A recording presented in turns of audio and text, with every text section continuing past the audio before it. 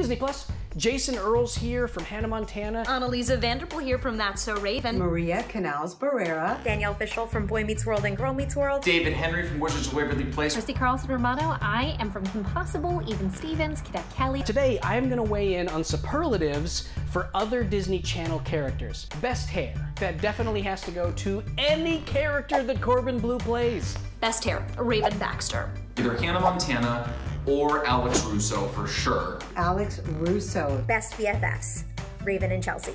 Harper Finkel and Alex Russo. It's a little hard to beat the friendship between KP and Ron. It is Miley and Lily for sure. Biggest overachiever? Mm, guys, Ren Stevens is most definitely the biggest overachiever. That has to be Justin Russo. Justin Russo. He was a valedictorian. The biggest prankster?